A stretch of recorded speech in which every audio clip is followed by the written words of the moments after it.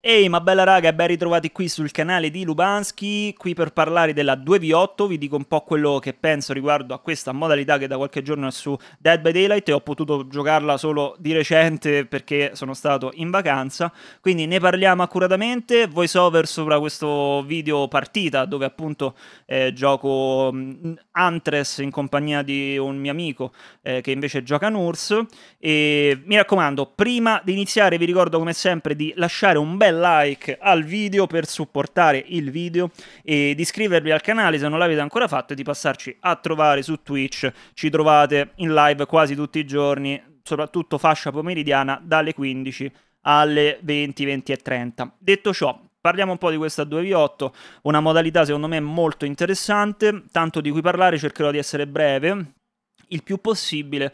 Allora, eh, partiamo dall'aspetto positivo di questa modalità. Allora, i dev volevano creare una modalità alternativa, divertente, con cui far svagare i giocatori e dargli mm, anche un po' di respiro, una boccata di aria fresca rispetto alla pubblica normale e secondo me ci sono riusciti. La modalità risulta divertente, estremamente dinamica, molto divertente, eh, lato surf, ma soprattutto lato killer. E quindi hanno centrato in pieno l'obiettivo, secondo me, da questo punto di vista. Bravi developers, bravi sviluppatori, eh, da questo punto di vista sono assolutamente molto soddisfatto.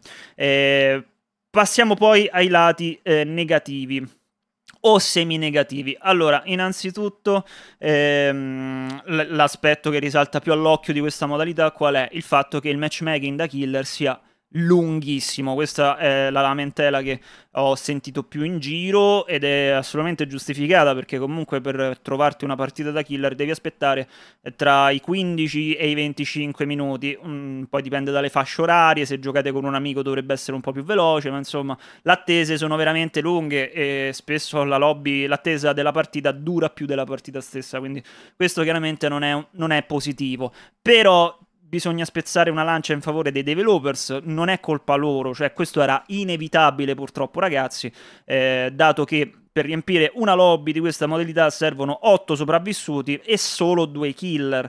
E vi assicuro che eh, Tanti preferiscono giocare killer che sopravvissuti per diverse ragioni. Innanzitutto, eh, la prima è che la vera novità, il, la vera figata di questa modalità è che puoi giocare per la prima volta su Dead by Daylight con un tuo amico da killer, cioè questa è la cosa fighissima.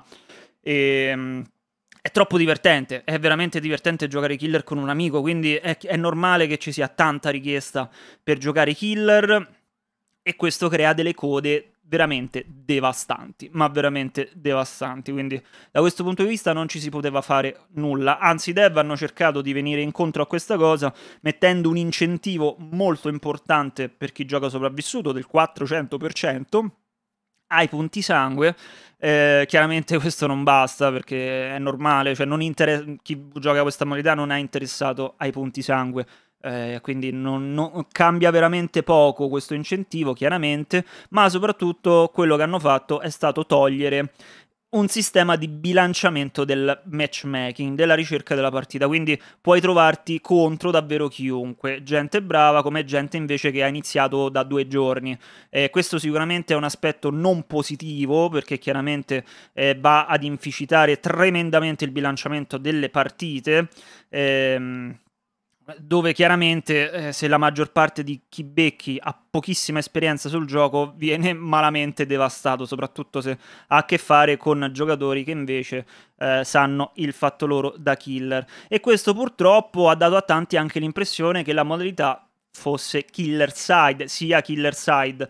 Ehm, su questo ci possiamo anche ragionare, ragazzi, ma è inutile perché non è l'obiettivo della, della, modalità. Cioè, chi si aspettava di giocare una modalità 2 versus 8 che sarebbe stata anche bilanciata, ragazzi, siete degli illusi, cioè ve lo dico senza mezzi termini a momenti non è bilanciata la 4v1 in pubblica, ma vi aspettavate veramente che questa sarebbe stata bilanciata, cioè non scherziamo. Poi se è bilanciata più kill, più mh, mm, in favore dei killer o più in favore dei surf, ragazzi, non è importante, ma perché non è lo scopo di questa modalità. Questa modalità, l'obiettivo è la caciara, la frenesia, il casino, eh, divertirsi, cioè nulla di più, cioè non è importante chi vince, cioè non è tanto quello. D'accordo, quindi è un discorso quello di Surve side killer side secondo me estremamente noioso ed estremamente inutile per quanto riguarda questa modalità e è più un discorso portato avanti da chi tende sempre a lamentarsi di qualsiasi cosa su questo gioco.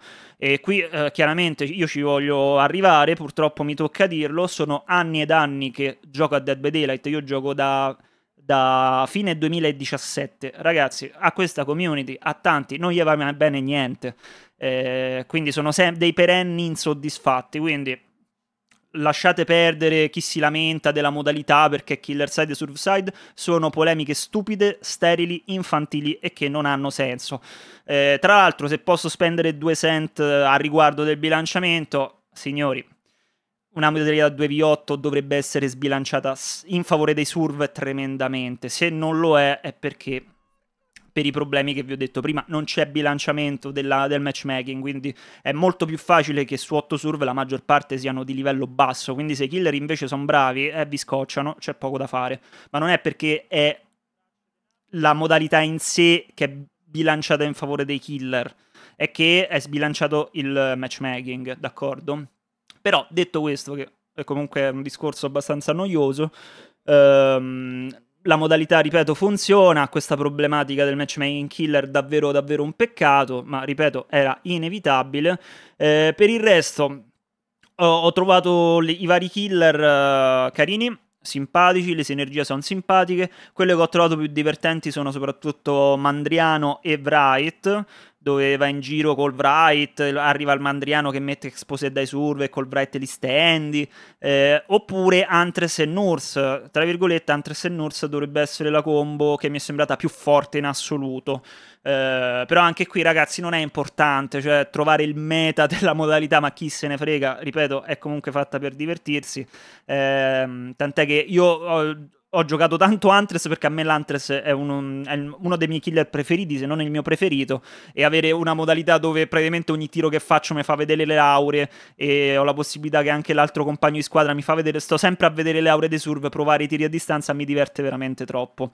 Eh, comunque ho notato che è una combo Huntress e Nurse usata molto, la Nurse si ritrova tanto spesso nelle partite come anche l'Huntress, secondo me hanno fatto un errore per, per, quanto mi riguarda hanno fatto un errore a mettere la Norse in questa modalità perché è un killer troppo forte. Quindi è normale che tanti lo picchino, lo scelgano, è normalissimo. Eh, personalmente avrei evitato di mettere la Norse, se devo essere onesto. Però c'è da dire che volevano mettere i killer base kit in modo tale che chiunque potesse giocarci. Ed inoltre... Ehm, cioè, lo, lo, capisco da questo punto di vista, togliere un, un ulteriore killer ai già pochi killer presenti per questa modalità, che ripeto sono i primi 5, avrebbe reso ancora più ridondanti le partite, chiaramente. Ehm, per il resto sono abbastanza tutti divertenti, io l'ho provati un po' tutti, sono molto simpatici da giocare, eh, giocare con gli amici è super divertente. Ho trovato tanto interessante, soprattutto il lato sopravvissuto, la cosa che ho trovato più interessante è il concetto della classe. Il concetto della classe con le varie skill allegate e non riesco a non vederlo anche come un piccolo esperimento da parte dei dev per quanto riguarda magari un nuovo concept che potrebbe in futuro arrivare su DBD per cambiare il concetto del loadout che attualmente si basa tutto sui perk, sui perk l'oggetto che porti e gli add-on.